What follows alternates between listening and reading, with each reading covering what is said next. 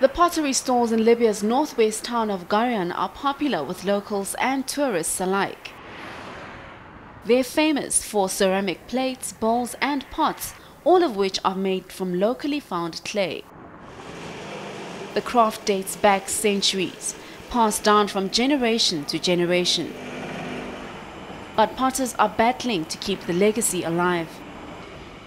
The industry used to be limited to handmade and Bedouin crafts, which required traditional equipment, but we developed it by bringing in new and advanced equipment, such as ovens, pottery machines, and other modern tools. But there's not enough of it, and it's making it hard to keep up with competitors. The industry has attracted a few foreign investors, but potters believe that in order for the industry to grow, they need the support of their own government.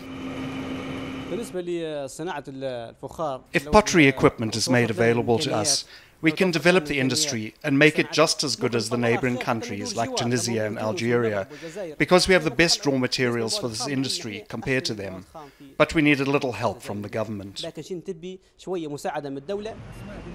As the country grapples with security issues, government is unlikely to make the pottery industry a priority. So these potters will most likely have to find alternatives to save their livelihoods and their legacy.